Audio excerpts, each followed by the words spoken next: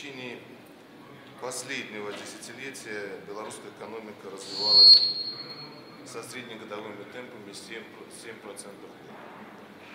Темпы роста внутреннего спроса опережали темпы роста ВВП, и основную роль в формировании активной динамики внутреннего спроса играла инвестиционная сфера. Инвестиции при этом росли вот так, да? Э, повторю, что темпы роста э, внутреннего спроса на протяжении уже последних 10 лет опережали темпы роста ВВП. Основную роль в формировании активной динамики внутреннего спроса играла инвестиционная сфера. Инвестиции при этом росли с темпом 15% в год, то есть в два, раза, в два раза опережая темпы ВВП. Как и сложившаяся мировая практика, наша страна использовала механизмы стимулирования потребления со стороны как домашних хозяйств, так и со стороны государственного сектора. Результат – нарастающий дефицит платежного баланса по отношению к ВВП. И в 2011 году наша страна нам представляется достаточно неплохо справилась с домашним заданием с точки зрения формирования единого экономического пространства и соблюдения балансировки в макроэкономической политике. Мы, на наш взгляд, как раз-таки проявили ту ответственность при формировании экономических политик, которая так важна при объединении стран. Корректировка курса национальной валюты оказала положительное воздействие на структуру внешней торговли страны, на структуру платежного баланса, на макроэкономические показатели и соответствующим образом на платежный баланс как результирующий результат работы экономики страны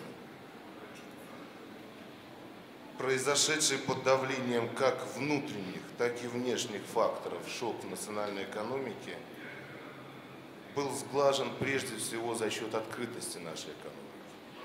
В отдельные годы внешнеторговый оборот у нас достигал 120% ВВП. И этот факт подтверждает, что результаты внешней торговли Беларуси во многом основаны на интеграции в рамках Евразийского экономического пространства в том числе. Несколько слов еще об ответственной экономической политике. С 1 января 2012 года, как верно было отмечено, наша экономика, как и экономика России и Казахстана, функционирует в реалиях, в реалиях формирующегося единого экономического пространства. На текущий момент может показаться, что для ее основы нормы, новое единое правило работы на внешнем рынке прежде всего и внутри тройки пока остаются рамочными. Однако нам представляется, что в ближайшей перспективе страны-участницы могут столкнуться с вызовами необходимости проведения согласованной экономической политики. Цель этой деятельности – синхронизация стадий экономического развития участвующих в интеграционных процессах стран. При этом развитие интеграционных процессов де-факто налагает ограничения на используемый инструментарий, с чем Республика Беларусь непосредственно столкнулась в прошлом году. Отсутствие таможенной границы значительно уменьшило влияние номинальной девальвации на динамику реального курса белорусского рубля.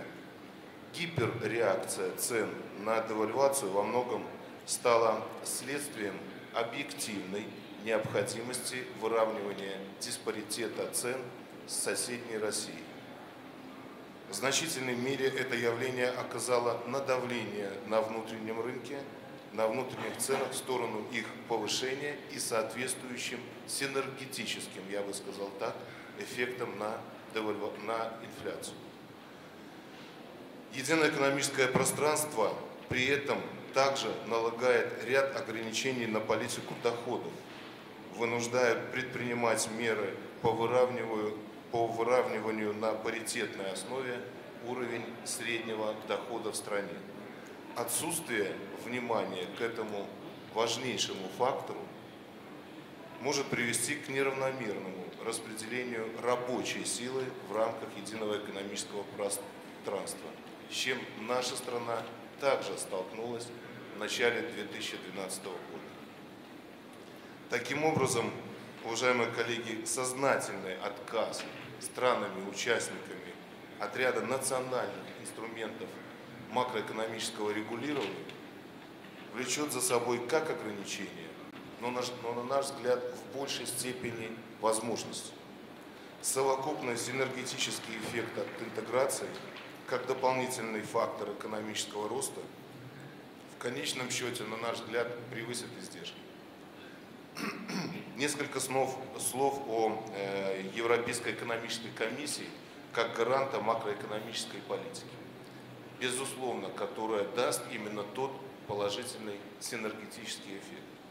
Стихийно складывающаяся интеграция экономических субъектов без активной и опережающей интеграции на уровне основных государственных экономических политик рискует обострить не всегда благотворную конкуренцию. Мы допускаем возникновение такой угрозы, так как, по нашему мнению, экономики стран-участников единого экономического пространства структурно очень схожи за исключением полезных ископаемых. И поэтому в этой связи содержит в себе потенциал конкуренции. Если рассматривать интеграцию расширенно не столько как создание условий для успешного развития взаимных торговых связей, сколько как объединение воспроизводственных процессов отдельных стран на общем экономическом пространстве в единый цикл – то значимость согласованности в принятии решений экономическими органами трех стран повышается в еще большей степени. Координация промышленной, аграрной, транспортной, таможенной политики, политик конкуренции и государственного участия в экономике, что, на наш взгляд, особенно важно, по нашему мнению, позволит минимизировать количество взаимных сюрпризов в экономической политике. Программы развития основных секторов должны обсуждаться и учитываться а в идеале дополнять друг друга. Институты развития должны проводить единую политику в интересах ЕЭП, и в принципе на этом построена вся работа единой экономической комиссии, идеологом которым в том числе прежде всего является наш уважаемый модератор. Очевидно, что несмотря на высокую зависимость экономики Республики Беларусь от процессов, протекающих в странах-партнерах, сейчас масштабы и степень открытости наших экономик различны. Различна в них роль государства. Они подвержены различным рискам, по-разному и с различным лагом реагируют на одинаковые шоки.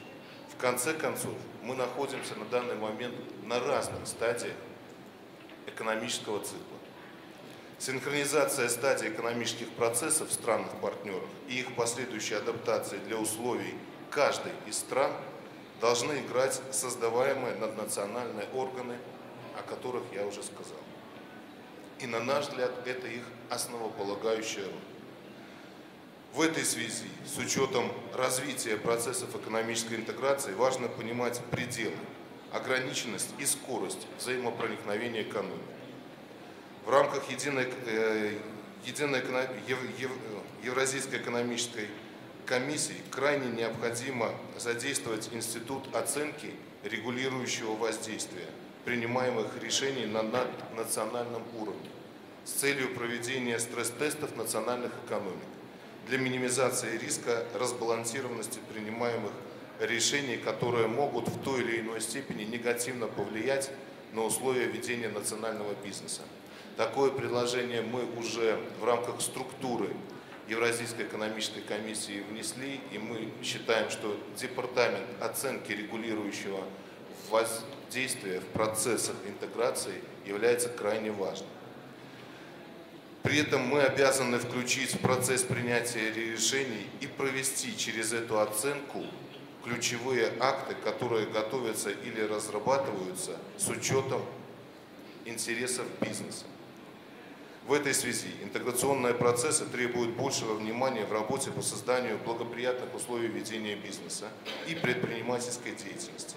Этот элемент необходимо, на наш взгляд, сделать центральным звеном интеграционного процесса. Национальный бизнес и прежде всего малое и среднее предпринимательство будет являться в средней и долгосрочной перспективе фактором экономического роста всех трех стран. Отдельным сегментом формирования интеграционных политик стоит процесс объединения в единую цепочку создания добавленной стоимости существующего крупного промышленного потенциала наших стран. Разработка единой промышленной политики, основанной на формировании отраслевых стратегий, является ключевым фактором успеха в увеличении создания добавленной стоимости и особенно в обрабатывающих отраслях стран ЕЭП и гармоничное их вплетение в глобальные мировые цепочки создания добавленной стоимости. Существенную роль в этом процессе играет работа наднациональных органов, опять же, связанных с формированием экономических стимулов для инвестирования в эти отрасли и для создания стимулов интеграции в этих отраслях. И прежде всего стоит сфокусироваться на практике внедрения равных условий доступа к инвестиционным ресурсам для всех операторов единого экономического пространства. А так как предполагается, что такие процессы будут достаточно капиталоемкими, то в нашем понимании это также подразумевает формирование и специального института в рамках наднациональных органов, с помощью которого будет осуществляться инвестиции подобного рода на прозрачной и конкурентной основе. В настоящее время в рамках экономической интеграции стран, членов единого экономического пространства, на наш взгляд, еще не уделено должного внимания одному из важнейших элементов. Мы считаем, что этот элемент является целеполагающим элементом. Важно не просто обозначить на карте мира контуры единого экономического пространства, но и представить плод этой интеграции. И в этой связи таким э, плодом мы считаем может быть и должен быть товар единого экономического пространства. Представляется, что этот аспект мог явиться существенным дополнением к процессу формирования бизнес-среды нового интеграционного объединения.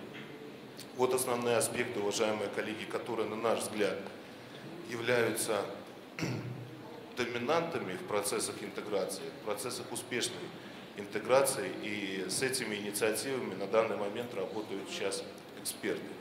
В заключении, с учетом того, что на этой сессии присутствуют, не побоюсь этого слова, высочайшего уровня переговорщики, я бы хотел сказать, что если мы в рамках интеграционных процессов в рамках взаимодействия наших стран научимся относиться к каждому как к себе и к себе как к каждому составляющему нашей интеграции, нас ждет успех. Если нет, то неудача. Или, по крайней мере, не тот уровень, на который потенциально может выйти единое экономическое пространство. Спасибо за внимание.